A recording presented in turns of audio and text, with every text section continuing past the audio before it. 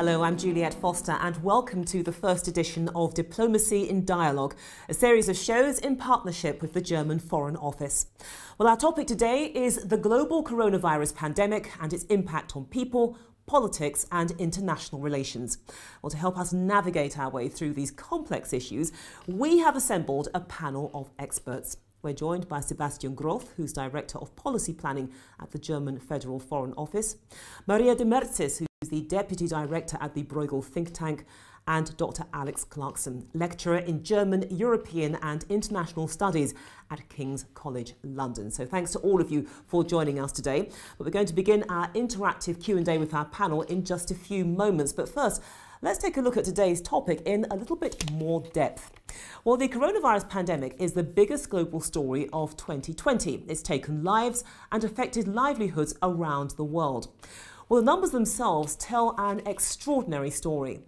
Worldwide, over 19 million people are infected with COVID 19 in 188 countries, with more than 700,000 deaths reported so far. Currently, the United States, Brazil, India, and Russia have recorded the highest number of cases.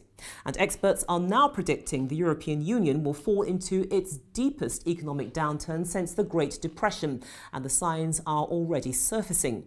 The German economy, the largest in Europe, contracted by 10.1% between April and June. Now, in some countries, the pandemic has caused severe political divisions. But in the European Union, we have witnessed unity, with its 27 member states recently endorsing an historic pandemic recovery deal worth a total of 750 billion euros.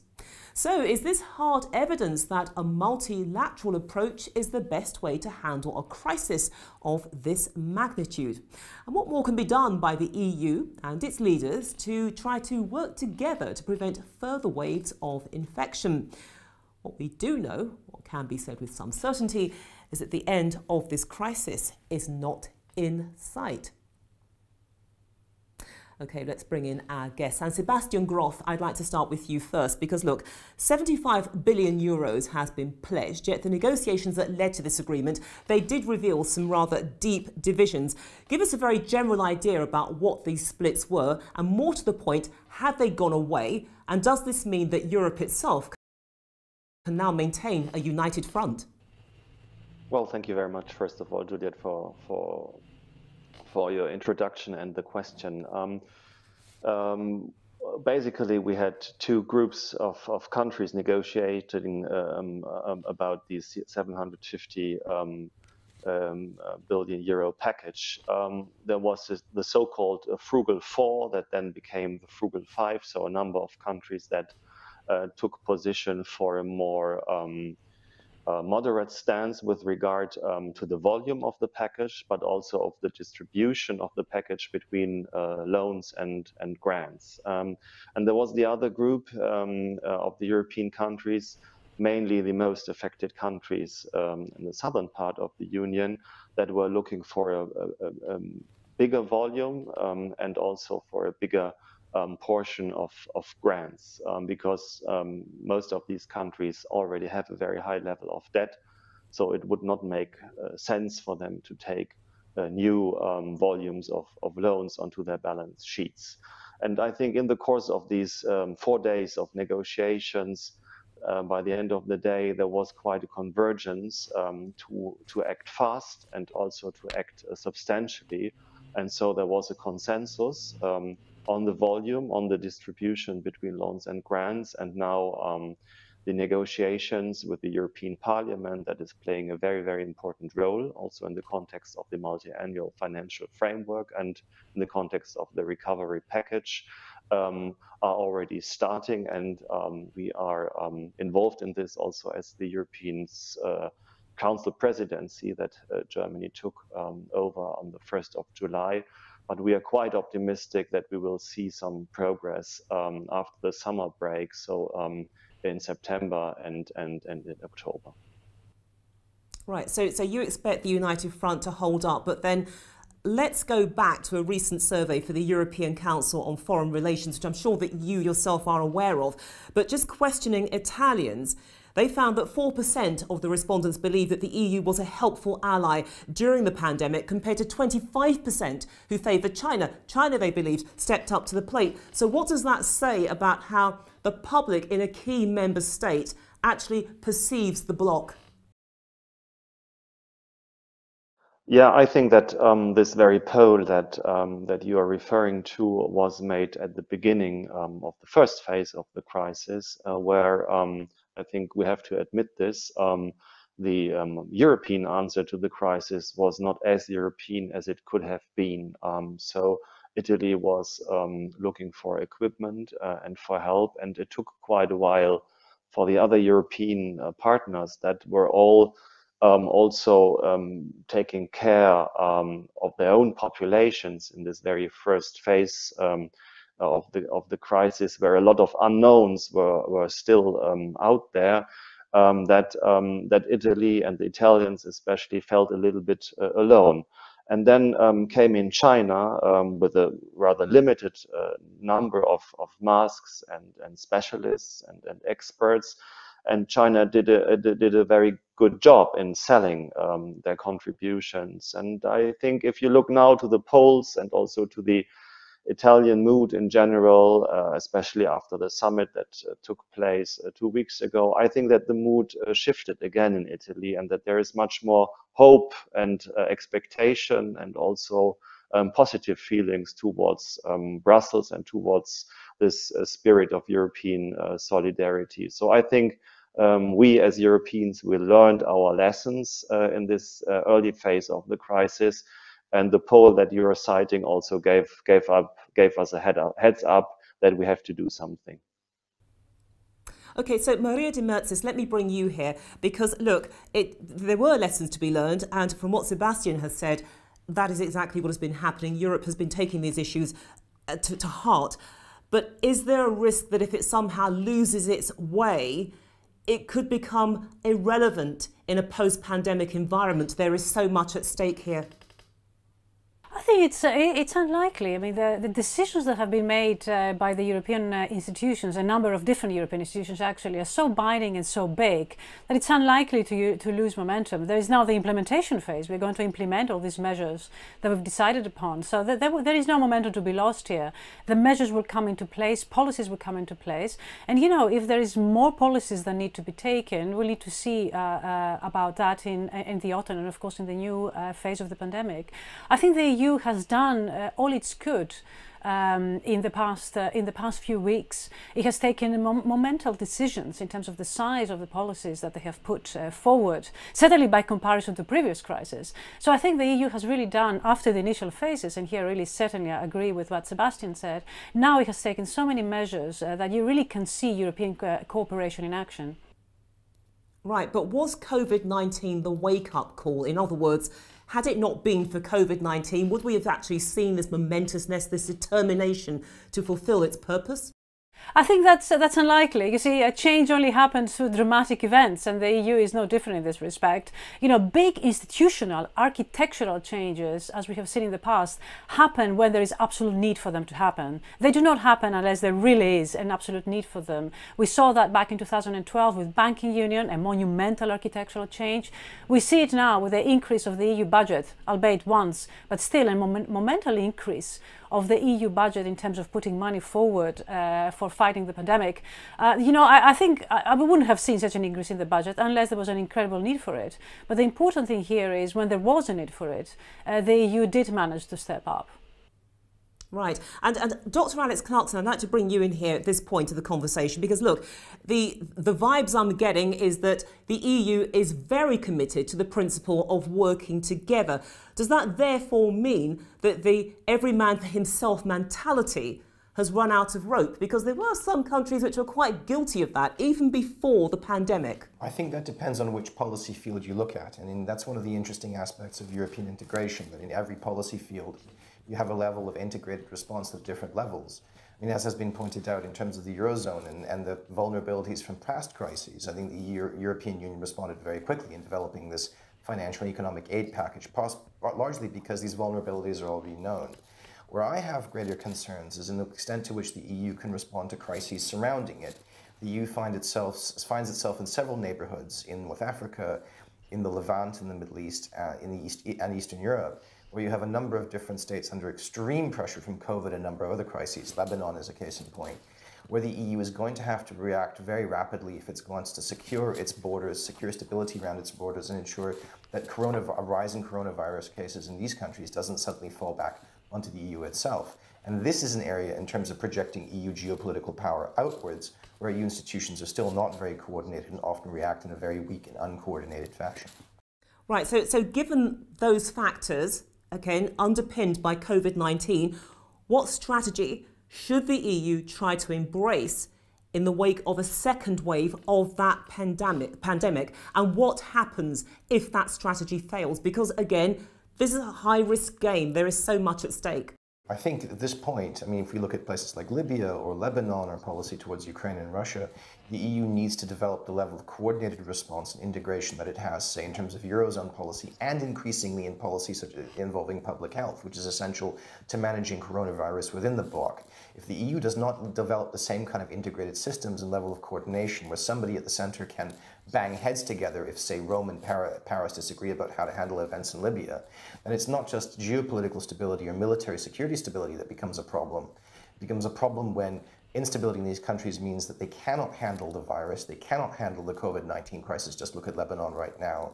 And where that develops migration waves, insecurity, destabilization, that in the end means that the EU will have to handle these crises down the line.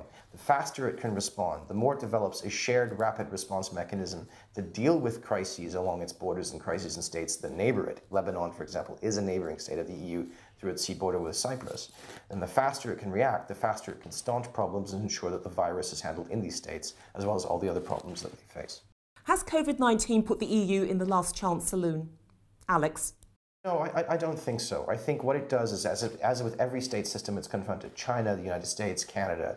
Every state it's confronted, it points, it, it has pointed to the vulnerabilities in these states. And actually, in terms of the EU's rapid response over issues such as Eurozone consolidation, economic aid, it's shown how much the EU has learned from previous crises. But I suspect in the coming months and years, it's also going to hit where the EU is weakest, namely its ability to project geopolitical power outwards, its ability to stabilize neighboring states, its ability to, say, get countries like Italy and France on the same page when it comes to dealing with a crisis in places like Libya. And this all impacts in terms of public health. If a country like Libya or Egypt or Lebanon has a high level of coronavirus cases and is destabilized and collapses, then that very quickly makes it difficult to contain both the virus and other forms of insecurity in these states, which will very swiftly come across its borders and affect EU states on the front line in the Mediterranean or Eastern Europe. Okay, Sebastian Groth, can I come to you? Because the in a weird, strange sort of way, you could argue that COVID 19 has become a platform for advocating the importance of countries working together. Now, if that's the case, is multilateralism strong enough to undermine the nation state narrative that has dominated the political landscape? Well, um, I, I, don't think that this is um, really a contradiction, a nation state and multilateralism. You need nation states to um, construct and, and build up a, um, functioning multilateralism that is based on a sort of um, cooperative uh, sovereignty of states. And that's what the EU all is about. It's, it's a concept of, of pooled sovereignty, but the nation state still has a role to play. So this is the multi-level uh, governance idea. What, what I would like to stress, though, is that we have to think more innovatively about new forms of multilateralism. And there I think what the EU set up in the early um, uh, days of, of May um, with a um, digital online uh, conference, pledging conference for the um, vaccine accelerator. Um, uh, and and I think um, 7.5 uh, billion uh, euros came together uh, is, is, is, is such a new form on, on, of multilateralism, involving states, involving multilateral institutions, involving private foundations, philanthropists, companies, industry. And I think in the face of this crisis, this is exactly uh, what we need. Um, and um, I'm not too pessimistic that um, this crisis uh, is a trigger for this new form of multilateralism. And the EU has a very, very strong role to play in this regard. Let's take that idea a little bit further. I want to bring in Maria here because we had the European Commission President uh, Ursula von der Leyen who said that the seven year budget deal and recovery fund was, in her words, next generation Europe. So, do you share that? That sense of optimism in that statement that the EU will emerge in a much stronger position from this crisis?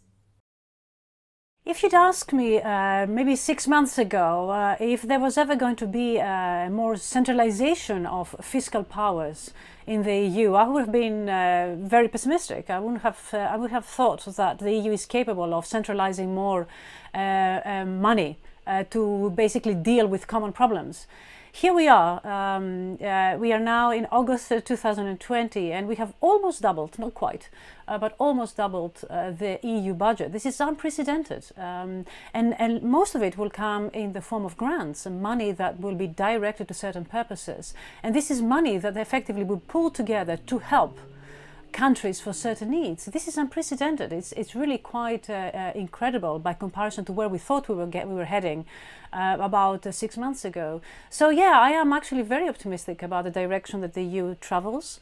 I think this is very good news in terms of providing the solidarity that I believe European citizens are asking for. In the elections last May, about a year ago now, um, the European elections, I mean, you really saw the unprecedented participation of the citizens in European elections. This was uh, the first time that the European citizens says, look, the types of problems that we're facing, and this is before the pandemic, require European solutions, if not global solutions.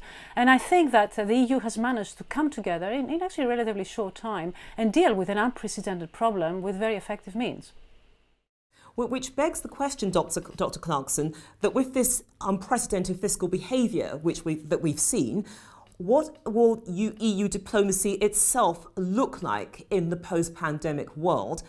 And from the perspective of the public, will it be in any way different to what they're used to? I think this is again where we come back to the extent to which EU integration depends which policy field you're looking at. Um, to, to, back up what Maria was saying, in, domestically, internally, we're seeing a real good, strong push towards centralization, which is essential. If every part of the EU system is dependent on the other, and the EU, Germany, or France or Italy need to make sure that the public health systems of Lithuania or Latvia or Romania or Portugal are all pretty much at the same level and are all able to cope with the crisis in the same way if this level of integration is to be kept and something more state-like is to emerge through EU integration. The problem is, is that while this level of centralization is to be observed internally and has really made tremendous leaps forward, the EU cannot isolate itself from the world outside. And the problem is, is that when it comes to diplomacy outward, when it comes to dealing with states like Libya or Lebanon or Egypt, where if their public health systems cannot handle the pressures of coronavirus, we will see instability. We will see knock on effects a, on a whole set of other issues, and it will affect the EU. There, we often see the EU and its External Action Service at in a weak position because the various member states pursue rival agendas, and it's very, very difficult for the Commission, for central EU leaders, for member states like Germany that want to bring everybody together on the table to bang heads together and to make sure that, say, Paris and Rome and Madrid are all following the same line. And this is, I think, where we have variable levels of integration strong integration at the center, strong integration internally, but weaknesses in terms of dealing with the world outside that I think could come back and cause further crises for the EU in the 2020s. Okay, then. Well, let's break off for a few moments to get the thoughts of the public. This is what they had to say when we asked if they thought that governments had done enough in the face of the pandemic. We are from Germany and we see that like here uh, or in France, for example, it's a bit different. So in Germany, um, it's more strict, the rules, and in other countries it's more hmm, wear a mask, but it's not important to keep distance or something like this. All the government uh, of Europe must work to get, uh, together for, to fight against this, this virus. Europe is very important in this case. We understood that it was bad in Italy, we understood that it was bad in Spain, um, but no, I wasn't aware of any coordinated effort. I think they do what they can with the information they get uh, day after day. So I think the reaction of each government is, quite good till now, but uh, we'll see what will happen in the next few weeks. Um, I work in the film industry and it's been hit really hard by it, as in nothing happening right now. So I'm just so eager for that to, you know, start up. And I don't know, no one can give me answers to when. So it's, it's a bit scary right now during this whole corona situation, I felt like the government didn't really give us guidelines. Only it, it, took a long time before we actually knew if we even had to do exams or if we were even able to graduate. So that's my greatest, um, my biggest advice for them, just to be more clear. I don't think it had a joint uh, multilateral response. I am very much in favor of the European Union and I was very disappointed that each country act uh, on a as a kind of knee-jerk reaction and uh, countries were not communicated, not helping each other. Well, the thoughts there of the public. Let's just have a reminder or roundup of some of the main points that emerged there. We heard that uh, countries didn't help each other. There were no answers or indeed guidelines. In other words, communication was poor and there was no sense of a coordinated approach. Although, having said that, one of our Vox poppers was very favourable about the EU, but there was that remark see how they get on in the next few weeks. And Maria Demertzis, I'd love to get your reaction to that Vox pop, and more specifically, what it thinks EU tells us or tells, tells the EU about the way that it's regarded by the general public because it does seem that there's still quite a bit of work to go in in making that relationship more connected. Yes, I mean, I certainly share some of the sentiments that uh, we've heard from the public. There is no doubt, and I think Sebastian also raised this point that the initial reaction uh, was a very defensive reaction, and it was as though everybody for themselves. Uh, there was also, you know, a refusal of export of, of vital uh, things that countries needed. This was really uh, not on, and it was not certainly in line with the principles of the EU. So certainly there were mistakes made, and, and the issue of communication, of course, uh, it's vital, and, and you know, failed us in a number of respects. I like to believe that human nature is very defensive, and you know, some of it is justified. But after that, very quickly, the EU uh, realize that you know this isn't the way to deal with the problem. There, need, there is a need for coordinated action. Now, one, one point I will say is that the speed at which the disease caught up with the countries was actually quite different. You know, it started with Italy. Italy had a very steep learning curve to, to uh, you know, in terms of how to deal with the, with the disease. So some of the differentiation in the way that uh, countries reacted is actually justified by the disease themselves. Uh, but I think the, co the communication aspect is, is a very important one. And this is the bit that I think the biggest learning has been had.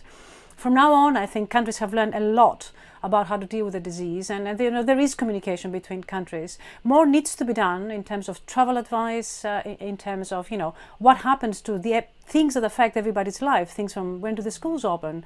Uh, we heard one of our uh, one of our speakers say things about can we take exams? You know, these are crucial. They're very important. They will depend very much on what happens in September when we will see, uh, dare I say, the second phase uh, uh, of, uh, of the disease.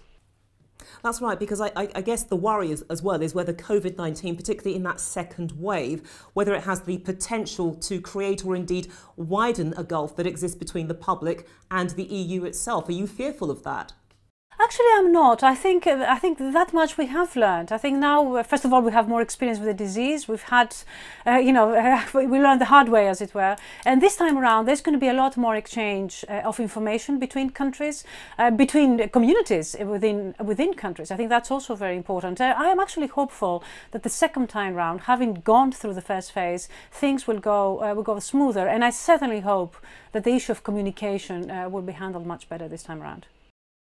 And Dr. Alex Clarkson, if they don't get the communication message right, is there a risk of estrangement between the public and the EU? And is that effectively a rejection of multilateralism? I think one of the most fascinating paradoxes, particularly about recent polling in Italy, is that while you have frustration with the EU, it's not necessarily frustration that expresses itself in rejection of European integration.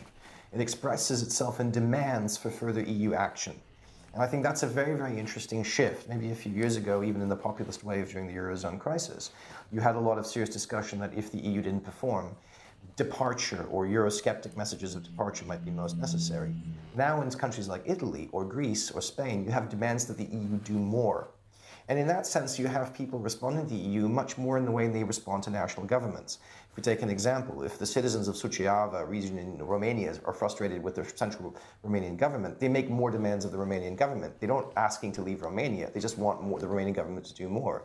And we're seeing something quite similar on the EU level. Citizens aren't saying, if you don't do anything for us, we want to leave. They're saying, you need to do more for us because we see ourselves as part of your system and your system needs to serve us.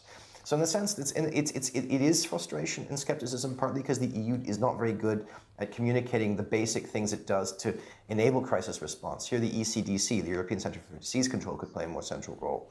But in terms of public responses, it's not led to the kind of Euroscepticism of we want to leave. It's led to the kind of political engagement of you are here to serve us, we want more, we want you to do more and integrate more. And that's actually a very, very interesting shift in terms of discourse and attitudes to European integration.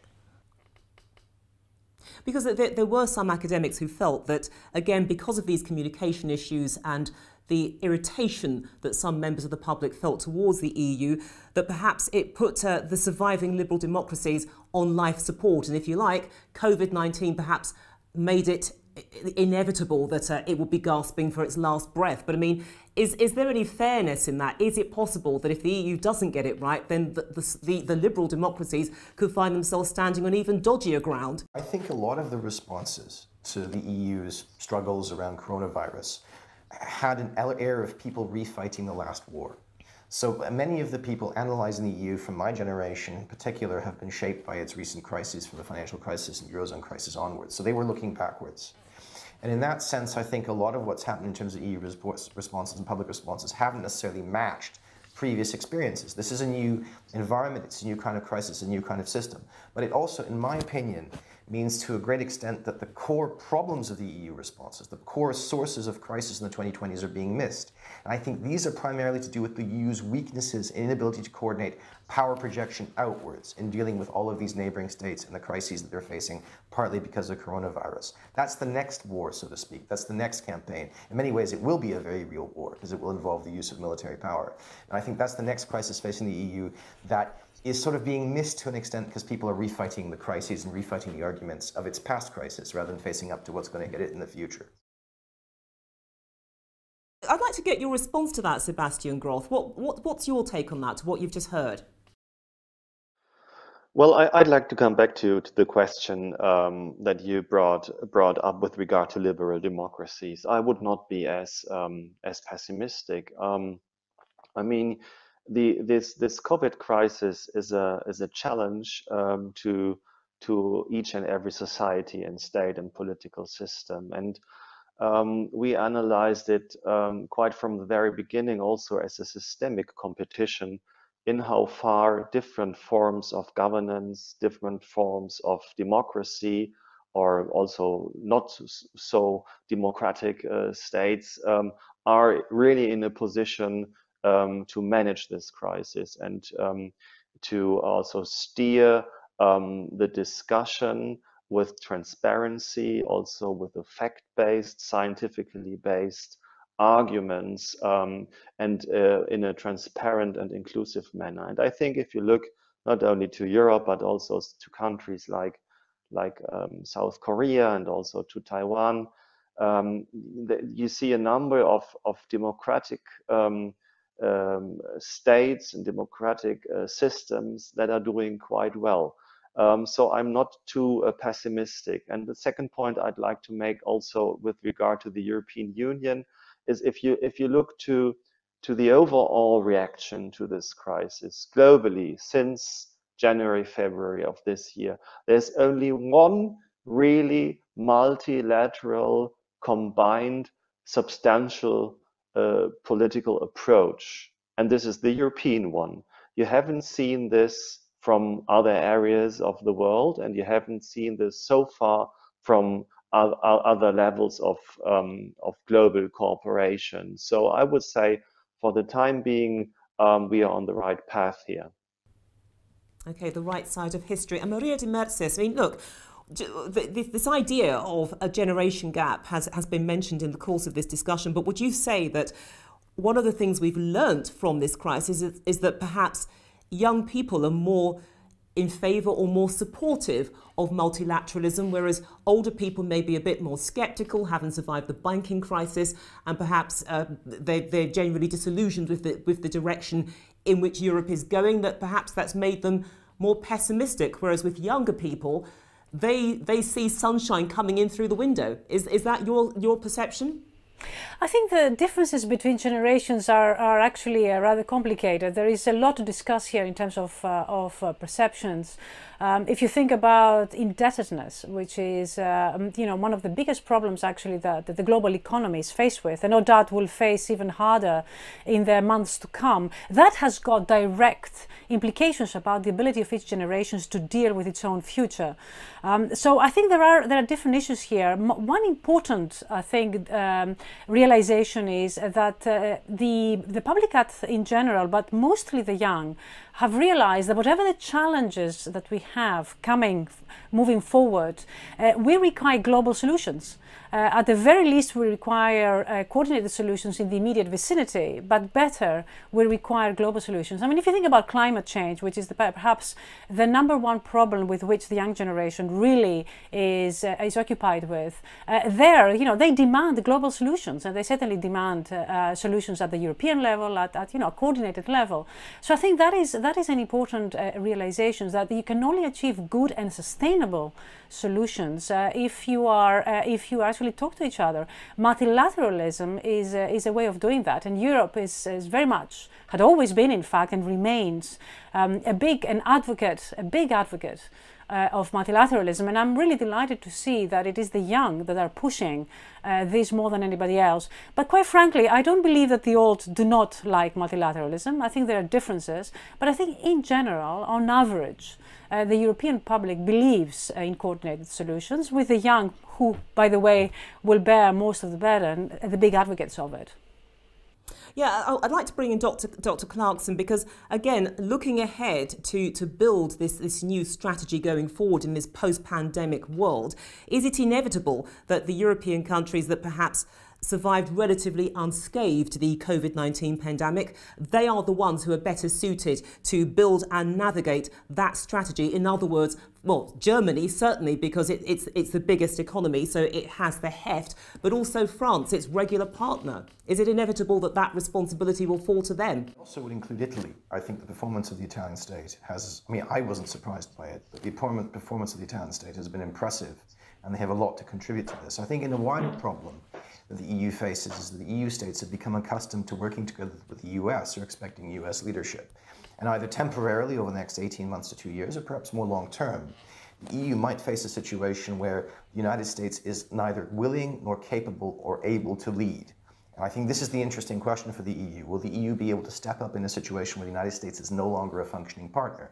I don't necessarily believe permanently, but possibly for stretches of time as it sorts its own internal difficulties out.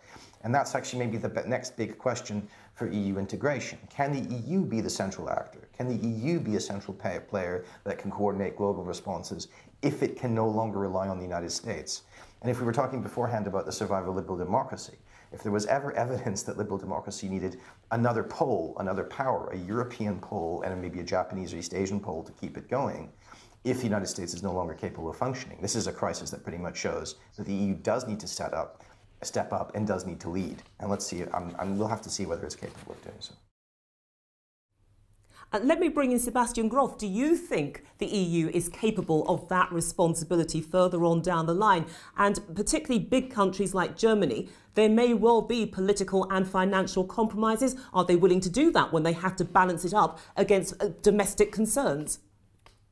Um, well, I think we are on a good uh, learning curve here. Um, the European Union, as as a union, is still one of the most important uh, payers um, in the multilateral system. So now it's up to us to become also a central player in this system. Um, and I think if you look, for example, to the WHO um, and the WH, um, the World Health Assembly that took place in May um, you've seen already a little bit of this conceptual and political leadership of the European Union because it was a proposal of the European Union that um, was then um, adopted um, by unanimity um, by the World, World Health uh, Assembly in a very, very complicated situation where we had a strong antagonism between the big players um, uh, like, like China and the US on, on some central questions on the role of the WHO.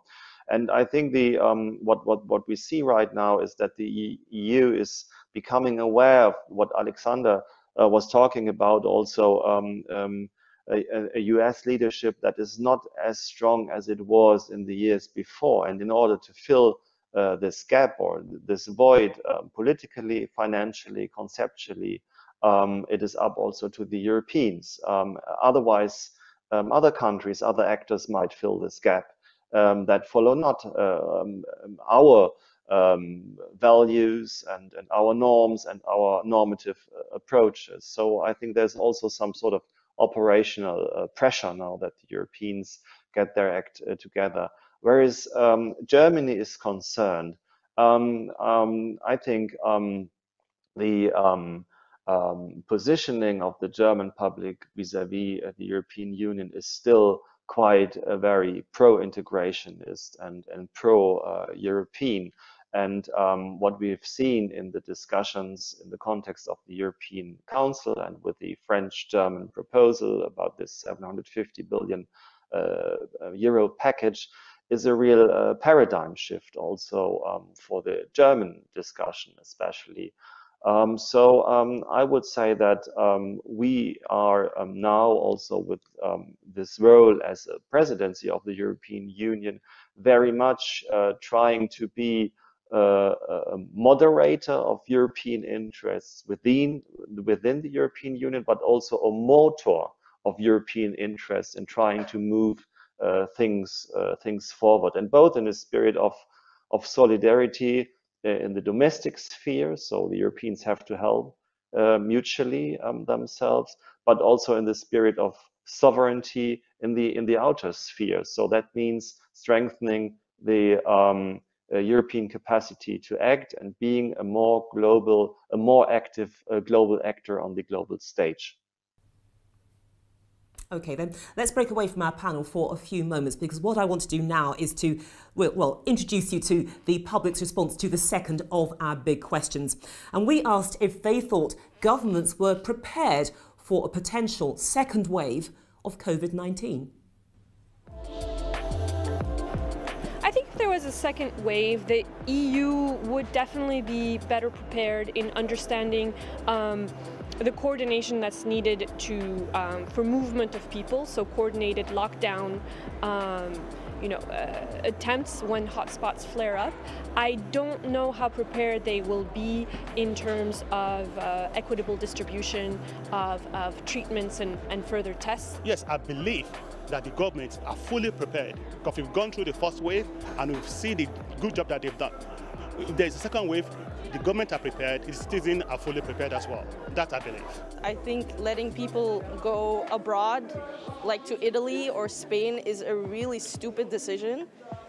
I honestly think that we should have just stayed at home and urged people to just stay at home actually.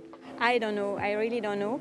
Um, I think they they try to plan as they can, but uh, it's quite difficult, and it's also depending on uh, what the people, well, what uh, all citizens will do in the next few days, next few weeks. If the people become a little bit more um, aware of the real situation. If there is a second wave, I think they are better prepared, and I definitely hope so. I mean, obviously, everybody was caught by surprise in the first one. Um, so yeah, I think they would be better prepared for for the future. Yeah. If there is a second wave, I would hope that they would work together. I uh, I hear that countries are beginning to talk about their own uh, boundaries again. Uh, I hear that mm, my country origin is already planning, thinking of a kind of banning people or, or imposing a lockdown of some sort. Um, I am not sure whether there's enough of communication, but I do sincerely hope that some lessons will be drawn from the first uh, um, incident and, and uh, it would be uh, all the countries will be working together? Uh, I think now they are better prepared because it happened once and now we know better what we have to do when something like this happens.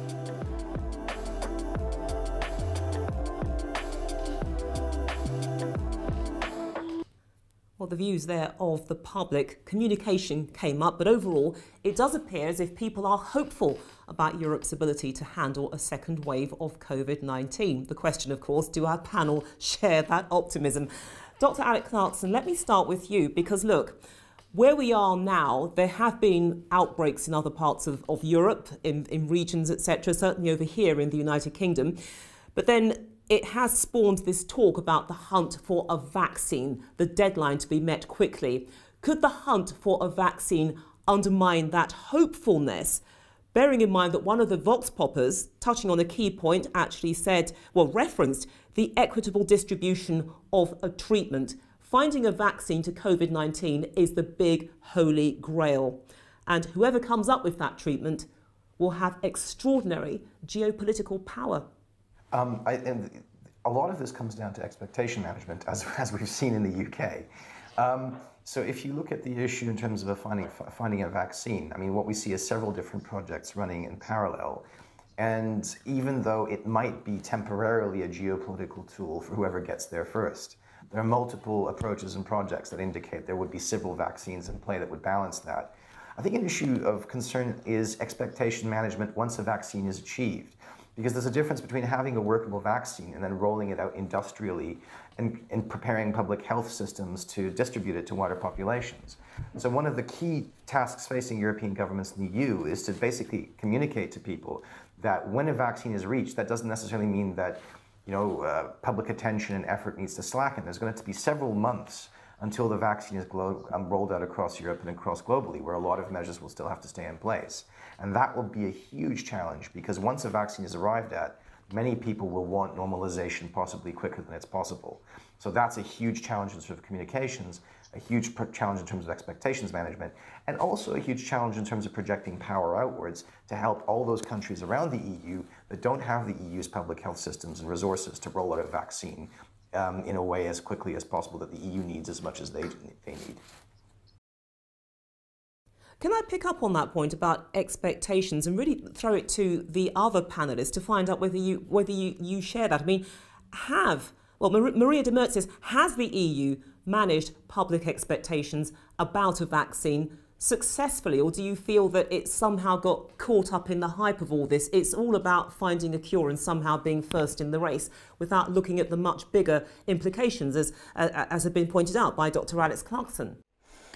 I mean, I, I, certainly believe that one of the uh, you know impressive things, and I say that rather reluctantly, is the fact that uh, you know all countries, and I follow news actually in different countries uh, because of the nature of my personal life, uh, have been very quick and very clear in relying on science all the decisions that have been made, you know, some of them with political flavors, uh, but have really been based uh, on, on facts and on what science is telling us. And science doesn't have all the answers because science is also learning. So I think in terms of that, I think I'm very encouraged. And it shouldn't be any other way. But, uh, you know, in this, uh, in this day and age of fake news, it's, it's very important to, to emphasize how clear uh, science is uh, as the only solution to these types of problems. And I think that, I think all countries in the EU, at least the ones that I follow, follow uh, have been uh, very successful in terms of telling the public what they know based on scientific facts. So I think in terms of management of expectations, we all know that we need to listen to the scientists. And as they learn, we learn. And a very big uh, thing that will only determine the success uh, of our fight against the pandemic is uh, how quickly the public is educated. And this is now the big next problem is have we educated the public in terms of dealing with the, with the pandemic? The shutdowns, you know, we, we all closed, uh, closed ourselves inside our homes. In the second wave, in the second phase of the, of the pandemic, the young are out and the young are now the ones that are transmitting the disease in most countries that I, that I follow. We need a, a new type of communication that is directed to the young to try and you know alleviate exactly that particular problem so all of this is being done is being done based on hard facts and uh, with very very good and clear intentions. Um, I mean, as I said, there is so many uncertainties here that you know you can't say that we have all the answers. But if we follow the principle of listening to the scientists, communicating clearly and simply. I think that is the best way of managing expectations and at the same time educated the public as new information comes in. And Sebastian Groth, is, is that your take on this? Do you feel that the EU has actually been successful in managing expectations about this vaccine, more particularly how quickly we can have it? Because you know what? We're hearing some governments outside the bloc talking about having a vaccine before the year's out, and their own medical advisors saying, well, hang on a minute, you've got to be a bit more realistic. What are we hearing from the EU that somehow stands as a counterweight against the other narrative?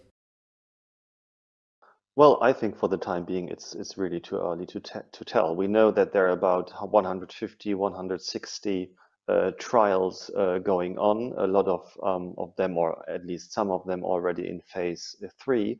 But what we all also know is that phase three is, is called the death valley of vaccines. So that's where most of the candidates um, don't survive. Uh, not not the, the candidates in terms of um, people who, who use it, but um, of course the vaccines. So that means we are not there yet. And I um, fully share what um, Alexander and Maria said um, with regard to expectation management we have so many unknowns about the production and then about the distribution and then the application. We don't even know if we would need one day one shot, two shots, or three shots, or how long the immune system, uh, you know, will be activated by by a vaccine. So. Um, uh, in, in, insofar, I think we have to prepare our publics um, and our societies that it's um, more or less the, the non-pharmaceutical interventions that will lead the way um, um, for the next months at least. So we are looking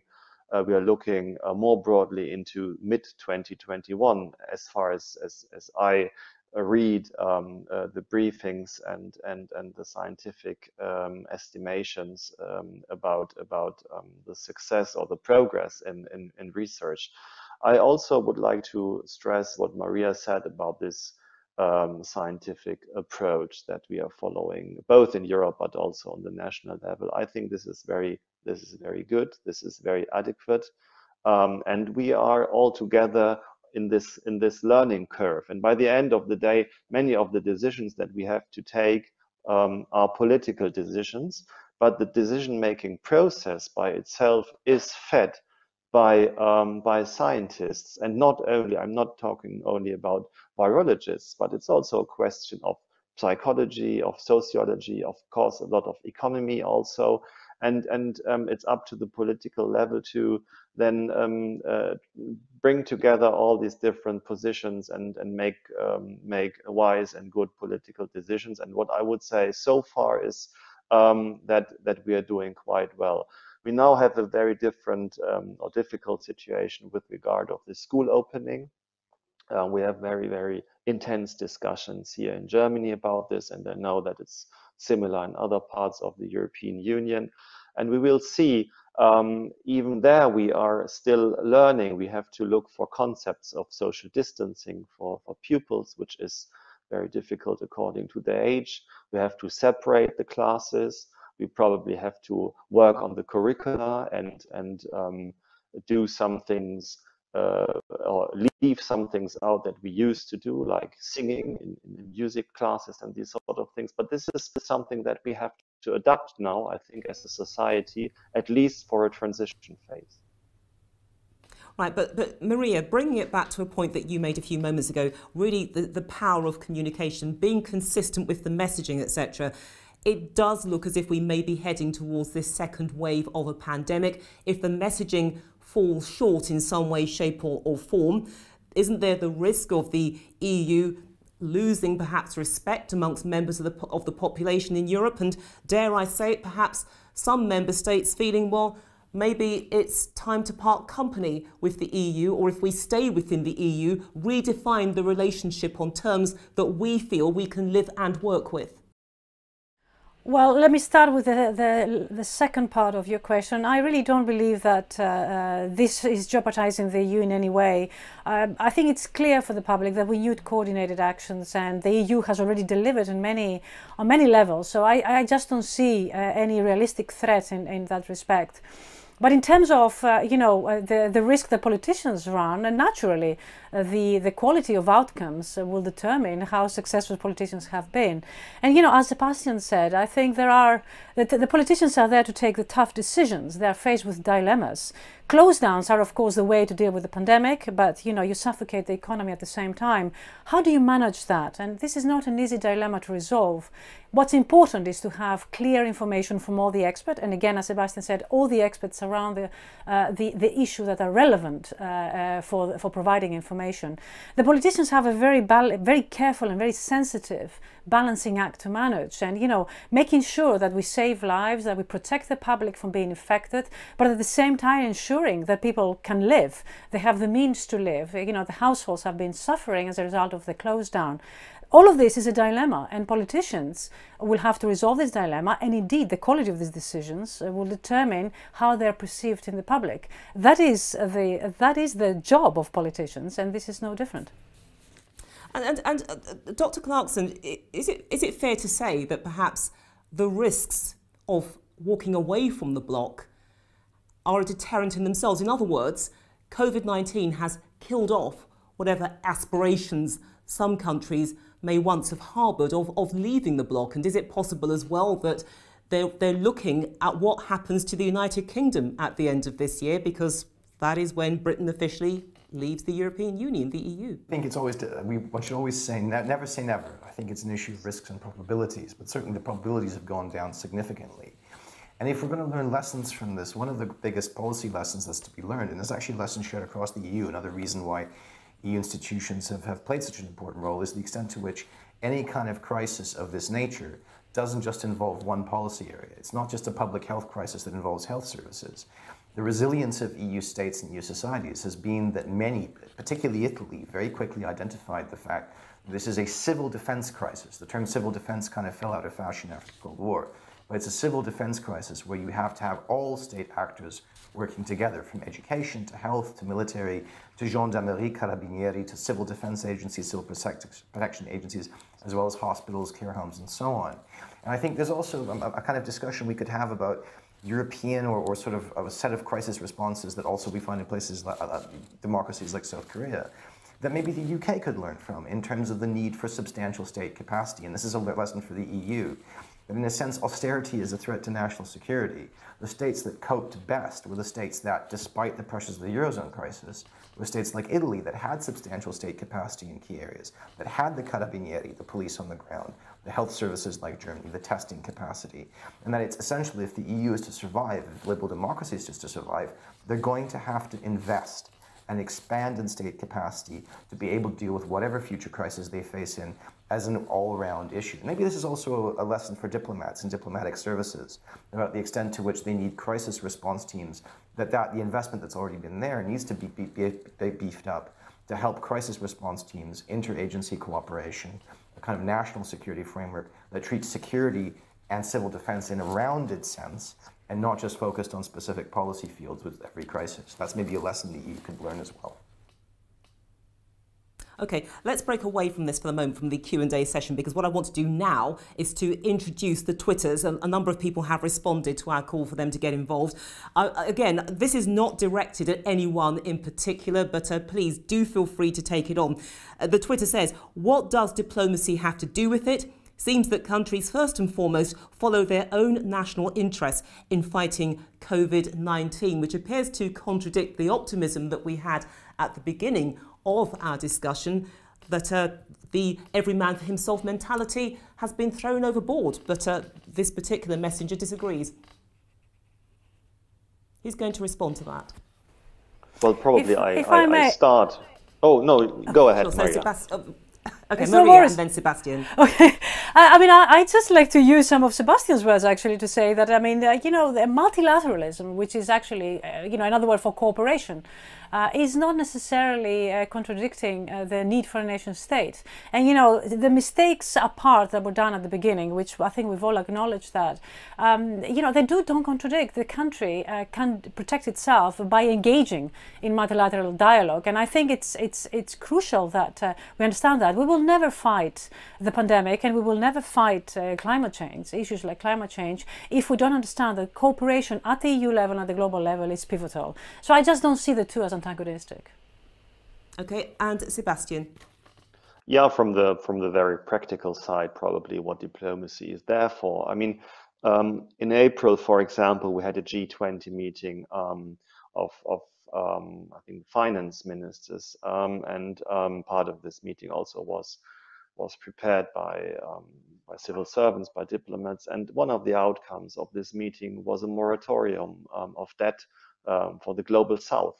That's a very concrete uh, result.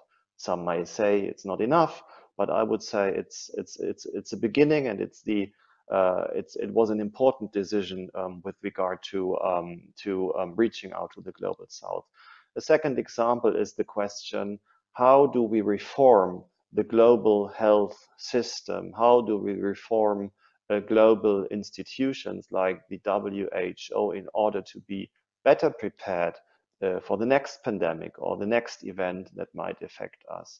And uh, in this regard, you you have difficult negotiations because you're talking about a lot of money. You're talking about political decisions. You're also talking about uh, models of, of governance, um, how, how you steer processes, how inclusive, how transparent are these processes.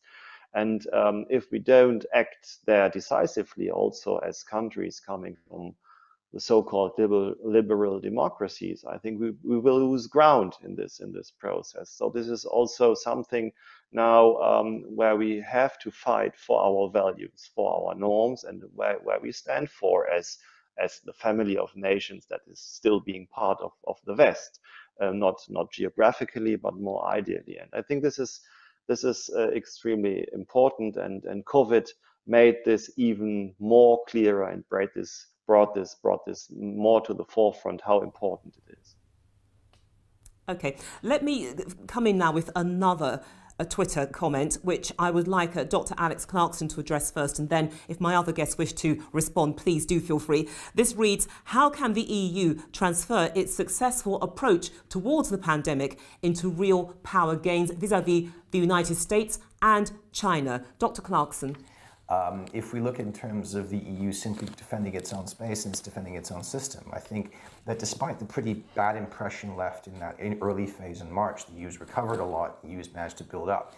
China's initial advantage in terms of coming out and selling its model of crisis response has diminished very rapidly as a lot of criticism and frustration with Chinese policy responses have emerged. The same with the US. I think it's also this this leads up to a very very difficult question for the EU. As the EU operates increasingly, obviously it's still a multilateral institution in some ways, but it's increasingly state-like in others. Is the question is how far does it want to get into even a competitive dynamic with the US and China? How far does it even want to leave that impression?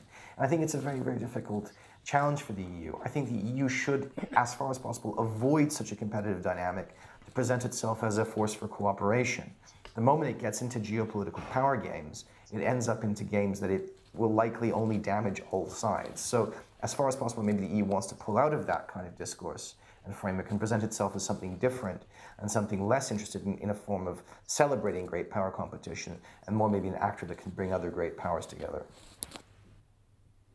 Okay, and would our other guests like to respond to that before I move on to our final tweet? Yeah, if I, if I may, um, I, I, I don't believe the, the EU has got the ambition of being a global hegemon. I think the EU, the way that it sees itself, is much more a, um, a, a, union of projecting soft power rather than hard power. You know, all the um, the positions that the EU has taken in the global scene has been have been positions of multilateralism, of global cooperation, and to the extent that the EU can exert leadership in certain things, it would be on very specific things. And again, a demonstration of soft power. For example, the GDPR or the, uh, the fight against global uh, climate change.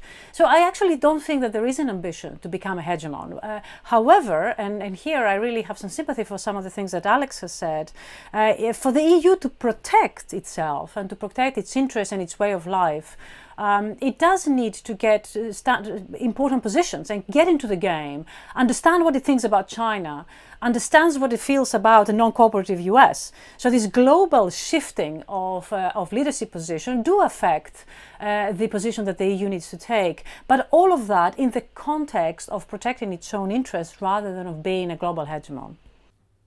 Okay, let's go on to our final Twitter, and I'd like all of you to respond. How can diplomacy work effectively without its main driver? In other words, the direct contact and exchange. How can diplomacy work effectively without its main driver, the direct contact and exchange? Sebastian.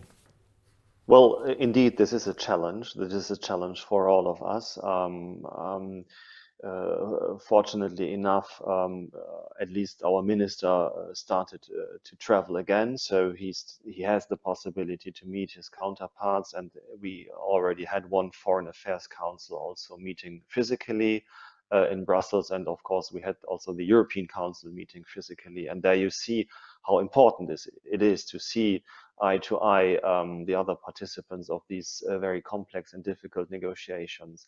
But uh, what the question is alluding to is indeed um, a challenging situation. For example, if we if we talk about uh, political negotiations with regard to crisis, to, to political crisis, to military crisis.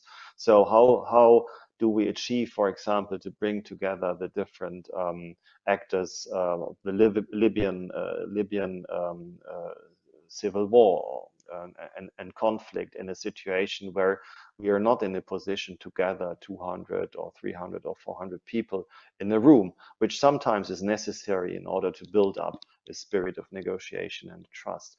On the other hand, I think um, um, already the, um, the, the, diplomacy and international politics learned a lot. So the push that we had um, as the foreign ministry also in Berlin with regard to um, the use of digital tools for our work has never been as strongly felt as as through um, through COVID. So um, we invested a lot in our digital equipment, and we made really quantum leaps also in in, in the use of it because um, owning it is one thing, but then uh, using it and also benefiting from it is another. And what we have now much more frequently than before, for example, is video conferences with parts of our network all over the world, also with think tanks and diplomatic partners. So we as policy planning, now we have um, regular video meetings with our counterparts. Otherwise, you would have traveled probably to the Netherlands, uh, to UK, to France. Now you do it online and it's functioning. But by the end of the day, the personal contact, um, the personal relationship is an asset and is extremely important, especially in this field of diplomacy.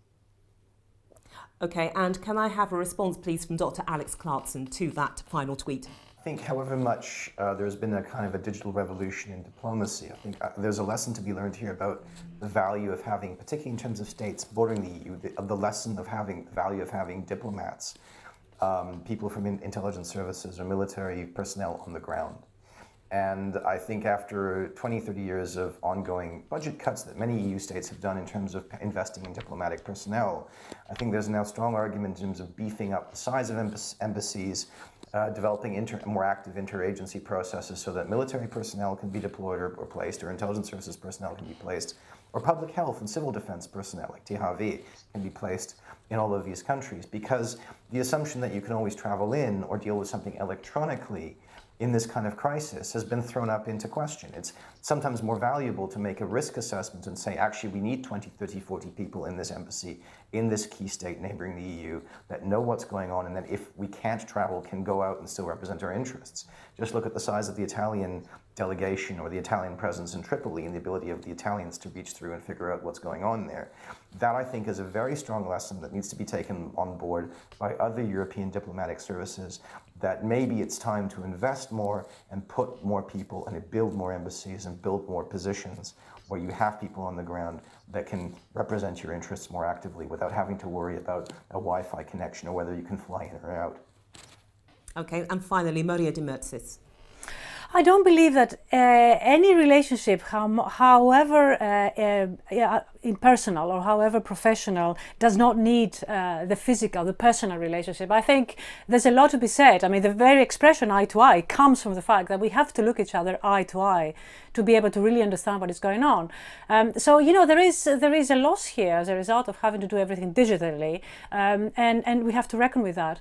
On the other hand, there is also a gain. I mean, just the digital transformation that we've all had to quickly be educated in, uh, actually is saving the environment. Uh, so you know it's just making us look at things that are in a slightly different way, and I think it's important to actually understand that as well.